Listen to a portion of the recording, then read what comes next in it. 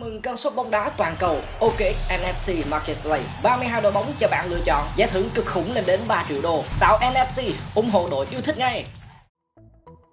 Với các pha lập công của Vinicius Junior, Neymar, Richarlison và Lucas Paqueta Trận đấu trên sân 974 được khép lại với thắng lợi 4-1 dành cho tuyển Brazil.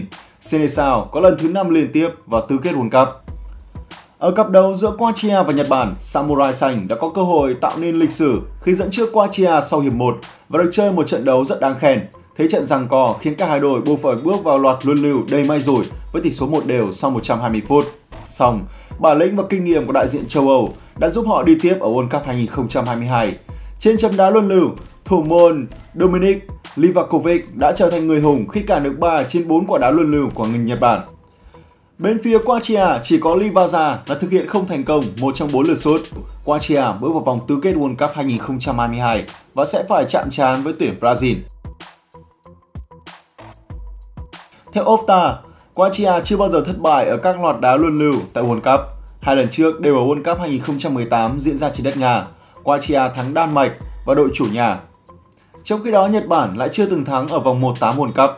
Thống kê cũng chỉ ra rằng ở 6 loạt sút luân lưu trước đó tại các vòng knockout World Cup, đội đá sau ở loạt đá luân lưu luôn là người giành chiến thắng và lần này Croatia cũng đã được hưởng niềm vui. Với Nhật Bản, họ chỉ có thể tự trách mình khi đã dẫn trước Croatia trong hiệp 1, nhưng rồi để đối thủ gỡ hòa.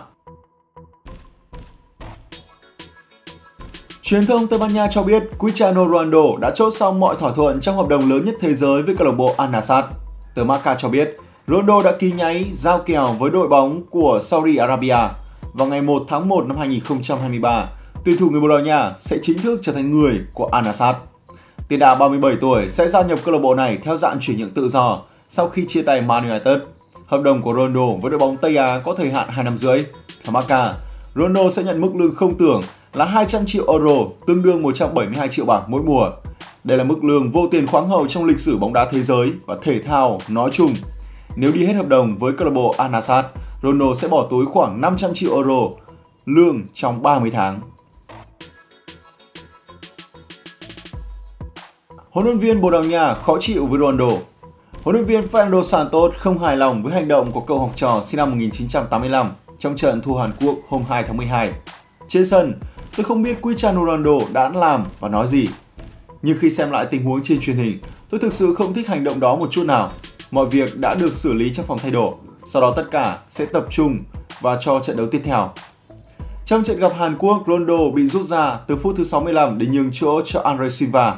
Và trên đường rời sân, cầu thủ 37 tuổi đã tỏ ra thái độ vô cùng khó chịu. Đoạn video được lan truyền trên mạng xã hội cho thấy rằng CR7 đã có những lời lẽ khó nghe với đối thủ lẫn huấn luyện viên Bồ Đào Nha. Modric chưa từ giã đội tuyển quốc gia sau World Cup 2022. Mới đây, Luka Modric đã cho biết rằng anh sẽ tiếp tục công hiến cho đội tuyển quốc gia sau giải đấu tại Qatar. Ông Dalic nhấn mạnh Modric là ngôi sao quan trọng nhất của Croatia và đây là lúc đội tuyển vẫn đang rất mạnh và rất cần anh. Phát biểu trước trận gặp Nhật Bản tại vòng 1-8 World Cup 2022, huấn luyện viên Dalic đã nói Đây chưa phải là giải đấu cuối cùng của Luka Modric, cậu ấy sẽ tiếp tục chơi cho Croatia, tôi hoàn toàn chắc chắn về điều đó. Luka tiếp tục làm việc, tập luyện chăm chỉ và luôn cố gắng phấn đấu để cải thiện bản thân.